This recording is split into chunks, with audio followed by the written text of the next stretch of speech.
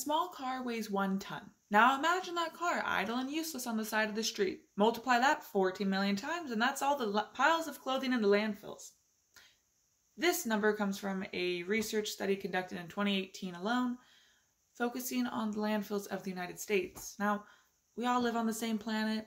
If we can just make tiny alterations to our definition of fashion outside of the fast fashion industry, this may be changed. This is something that we're going to dive into while discussing the environmental impact and benefits of secondhand clothing. After researching the socioeconomic impact as well as the environmental impact, there is direct correlation between these issues and the business model surrounding fast fashion.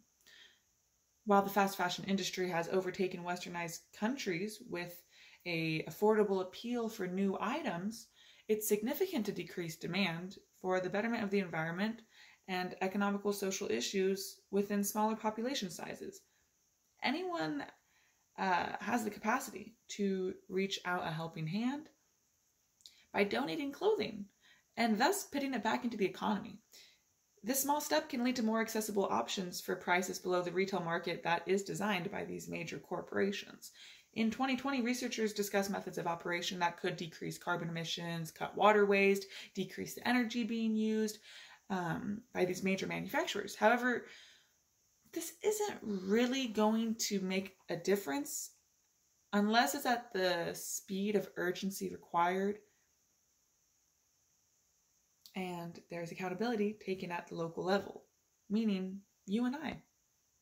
How we define fashion and our personal expression does not need to be defined by the trends designed and pushed out by these fast fashion trends and brands. Fast fashion methods must be ratified in order for substantial change to be made. As defined by earth.org, it's a business model that is a streamlined system involving rapid design, production, distribution, and marketing. This allows retailers to pool smaller quantities of greater product variety and allow consumers to get more fashion and product differentiation at a lower price. Now, this definition highlights the methods that the industry fails to consider within the environment. Now that we have a clear understanding of how the fast fashion business model is defined, let's discuss what we can do as a collective. If everyone in this class collectively supported secondhand businesses instead of fast, fashion retailers, the amount of landfill waste relating to textiles would decrease. Over half of the average closet is filled with clothing that is not fully utilized. This comes from a report by the World Resources Institute. We've all made impulsive purchases. However, how conscious are we of the impact that we have leaving these stores or after filling up our carts? While there may be a few more steps to getting that uh, excess clothing out of the house, the benefits of bringing it to a donation drop off can bring more options at better prices and cut the pollutants that we contribute as consumers. Personally, I grew up in what has been considered a low income circumstance and didn't see this correlation until I became more fiscally aware of the downfalls that fast fashion retailers turn a blind eye towards. I always choose thrift stores now over a mall and with the initial thought of saving money for my next textbook. While I can save more of my earned income and shop happily, I know that the environment of the planet and the economy benefits from these steps that I take as an individual. Fast fashion is a lucrative market and the production methods are too convenient, one may argue. How can a consumer pass it up? What if they want their clothing to be new and affordable? Ultimately the one benefiting from this objection is the producers and retailers of these companies.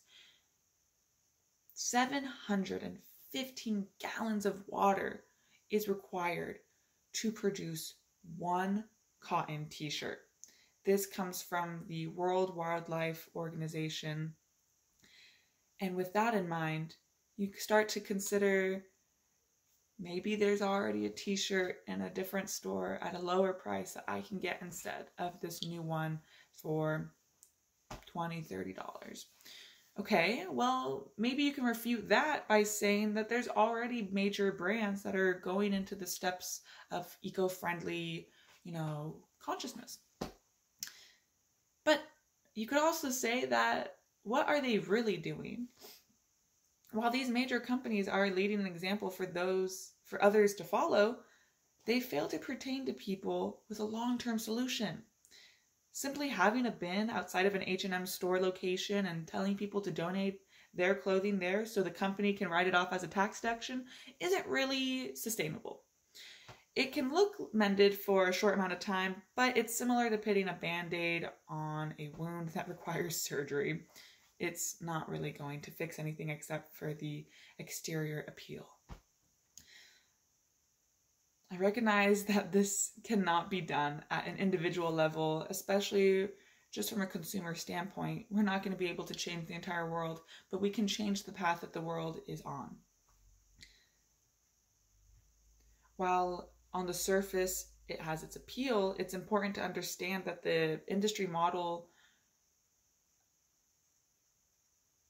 is not sustainable for the world that we inhabit. Overall, people are going to have a better outlook on life while they actively participate in one's community through secondhand operations. Consumers can redirect their attention to buying clothing at thrift stores and participating with their communities at a tangible scale. But if that isn't enough for consumers to be won over to go into a thrift store, maybe the aesthetic of caring for the planet is. Because if we can't enjoy the beauty around us, then how are we to, you know, preserve it in ways that can grow in popularity? This topic relates to this class as the term thrifting increases with younger consumers. The consumer who understands the repercussions of supporting one retailer over another and the inherent benefits that the group will have through such adjustments. This is a call to action and asking you to reconsider where that next outfit may be purchased. The fast fashion methods won't be changed anytime soon, but by having more consumers take a mindful approach to how their money is spent, there may be motivation for these companies to take steps towards more eco friendly methods. While these consumers engage with local levels of businesses and secondhand distribute, just, uh, distributions, physical environments, as well as social environments benefit through such action. Now, this is something to consider as we debate donating that next t shirt, or purchasing that next t shirt. What store will you go into? Thank you for listening.